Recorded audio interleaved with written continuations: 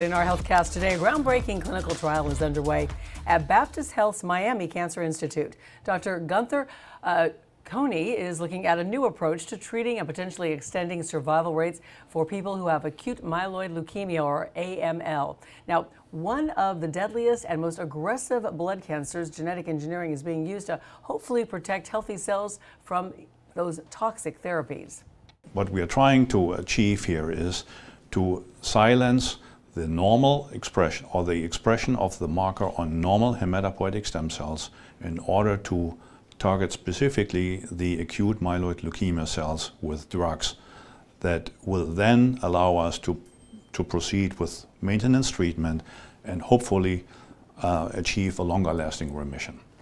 Dr. Koehne's efforts are part of a nationwide clinical effort that is successful could reshape how AML and other blood cancers are treated going forward. And highly invasive stem cell transplants are currently the last line of therapy, yet 40% of patients still relapse. And a combined drop in both walking speed and your memory, well, it's been tied to an increased risk of dementia. That, according to a study of 17,000 older adults. Dementia risk was highest in people who had a slower gait speed, a walking speed, coupled with lower memory scores over time. These findings were published in the Journal of the American Medical Association, and they suggest the gait evaluations should become part of routine exams to improve the care of older patients.